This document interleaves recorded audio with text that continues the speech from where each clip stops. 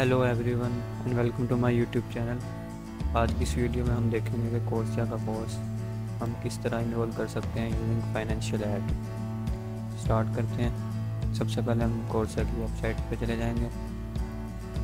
Website पर आने के बाद हम लॉगिन या कंटिन्यू एज अपने जीमेल के साथ कंटिन्यू कर देंगे.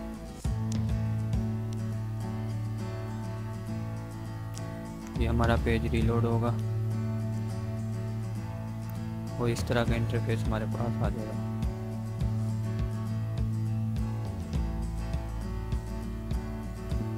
ये एक फॉर्म से फिल करना चाहें तो कर सकते हैं, वरना फ़िलहाल मैं यहाँ पे स्किप कर रहा हूँ।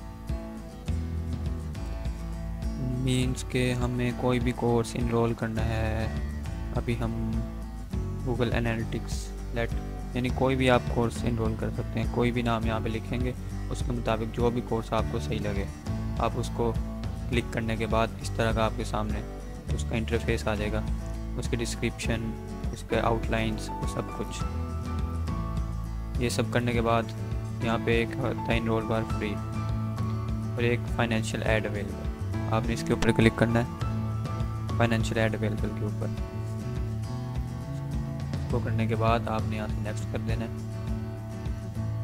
और यहाँ से कंटिन्यू टू द एप्लीकेशन ये करने के बाद आपने अपना एजुकेशन लेवल सेलेक्ट करना है। इनकम में यहाँ पे आपने ज़ीरो डॉलर लिख देना है। यहाँ से करेंसी सेलेक्ट कर लेनी है आपने यूएसडी करेंसी सेलेक्ट करने के बाद आपने यहाँ पे अपनी एम्प्लॉय स्टेटस बताना है कि आप यहाँ पे स्टूडेंट हैं। उसके बाद आपने why are you applying for financial aid यहाँ पे मेरे पास एक पैराग्राफ लिखा हुआ है। मैं आपको ये, यानी कि लिंक डिस्क्रिप्शन में दे दूँगा। आपने इसको कॉपी करके पेस्ट कर देना है। और इसको अपने मुताबिक एडिट कर लेना यानी जो आप डिग्री कर रहे हैं या जो भी। मैं से एज इट कर, यानी यहाँ पे इनपुट देने के बाद नेक्स्ट कर दूँगा। और यहाँ से ज़ीरो डॉलर सेलेक्ट कर दूँगा। और यहाँ से गोल्स वाला पैराग्राफ ये है। इसको मैं वहाँ पे पेस्ट कर दूँगा।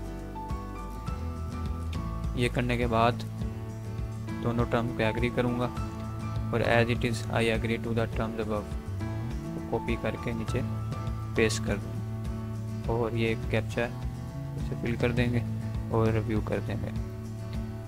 बस हमारे यानी रिव्यू करने की ज़रूरत नहीं है। हमने सही सारे स्टेप सही किए हैं। सबमिट एप्लीकेशन कर देंगे। सबमिट एप्लीकेशन करने के बाद ये हमें बता देगा कि हमारी एप्लीकेशन रिसीव हो गई है। सताईस मई को हमें हमारा कोर्स मिल जाएगा। यहाँ पे हमारी वीडियो होती है ख़त्म। आप लोगों का कोई भी सवाल हो, इससे रिलेटेड आप कमेंट सेक्शन में पूछ सकते हैं।